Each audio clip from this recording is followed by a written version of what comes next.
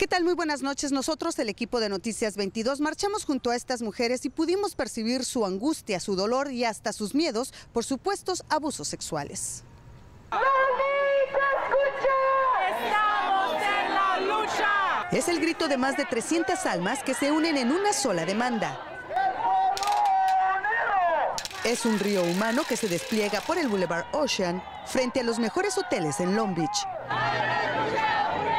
Son las camareras que piden un alto al abuso. Me da nada más 30 minutos para limpiar una suite.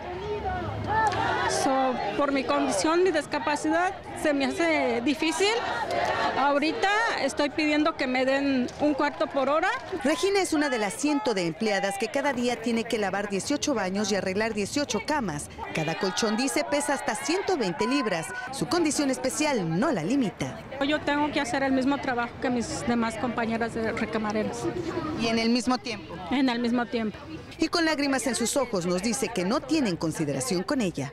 Porque he pedido en mi lugar de trabajo que me den acomodaciones y hasta hoy día me las han, negado. A pesar de que la economía de Long Beach se ve impactada con 16 millones de dólares anualmente que ofrecen los hoteles y el 85% de la mano laboral son mujeres, ellas dicen que esta protesta no es por un aumento salarial. tienen condiciones de trabajo muy abusivas, se enfrentan a acoso sexual. ¿Tú has sido víctima de abuso sexual? En varias ocasiones sí. ¿Cómo te escapaste tú de esa situación? Iba eréctil, o sea, yo tuve mucho pánico, cerré la puerta y hablé a seguridad, pero se tardaron mucho tiempo.